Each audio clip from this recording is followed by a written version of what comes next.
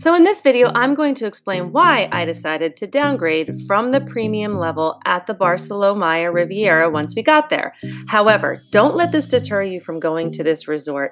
This was one of my all-time favorite resorts, and please watch the entire review in the next video. Okay, so this is a great view of where we're staying at the Barceló Maya Riviera, adults only. This building, that building right here is where we originally were. That's the premier building. And as you can see, it's kind of covered in um, a lot of trees.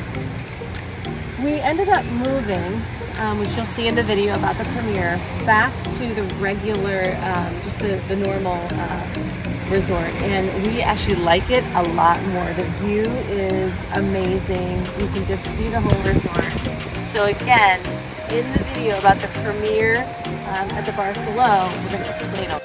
So the first reason we decided to downgrade was because of the rooms. The rooms are exactly the same wherever you are. So there's really no difference in the rooms itself. It's just the location. And we actually liked the location better of the other room.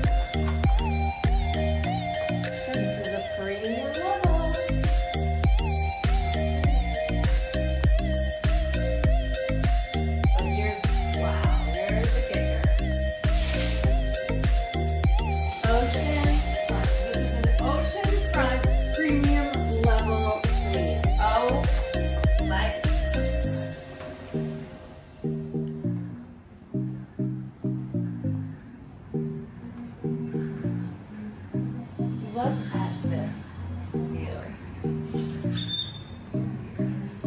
Amazing. Look at the water. So here's the room that we changed to. As you will see, it's exactly the same in terms of the, of the layout. So why did we change? A few reasons. First is that there was really nothing special about the room or even the area, the premium level area. It felt kind of isolated, but there was no wine or liquor or anything special. They had a couple beers and um, sodas and things like that. But I've been to resorts where when you upgrade, you know, you feel that you've upgraded. The check-in was great. It was fine, but nothing special. Uh, here's the view during the day, which we actually like better. And just to let you know, in the premium level, there are really, really annoying birds. And I didn't hear that when we were there, but just little things like that. We also did get their room service, which I know is free if you have the premium level, and it really was nothing great. Although some people did tell us that the breakfast room service was amazing, so if you really like that room service, you might want to keep the premium level. And I think really what made it for us was when we went downstairs to get a drink and we were showing them our bracelets, they said, oh, everyone gets the same liquor. And it was presented that everyone gets upgraded liquor. And the premium level uh, lobby and bar were closing very early. So it just didn't seem to us a good value to keep it. When we went to the manager customer service, they were so amazing about it. Uh, I have to say that they really accommodated us. And what it comes down to is that this resort is already a premium level and includes all of that.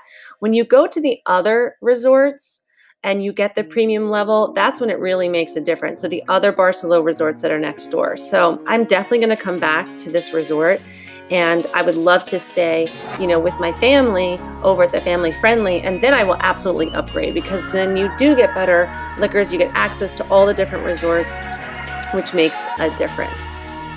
I do respond to all comments and questions, so please like, subscribe, and comment, and follow us on 3 Days and Tres Noches while we take you on fun, affordable, and exciting vacations adventures that you can have in a really short amount of time.